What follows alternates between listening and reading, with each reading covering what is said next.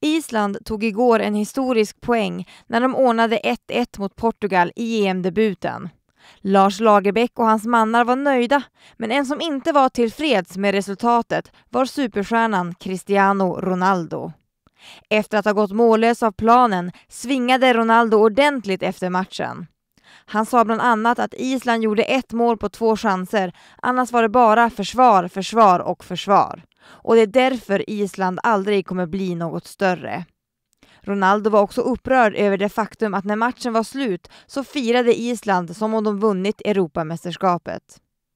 Lars Lagerbäck tog dock lätt på portugisens utspel och menade att Ronaldo gärna får gömma sig bakom det. Lagerbäck menade att när ett lag inte uppnår förväntningar är det lätt att snacka om motståndarna. Och förutom Islands skrällpoäng och Cristiano Ronaldos hån var också Portugals mittback Pepe i blåsväder. I den andra halvleken gick Pepe omkull tämligen enkelt efter en duell med Birkir Bjarnason och hånades rejält både på läktaren och i sociala medier.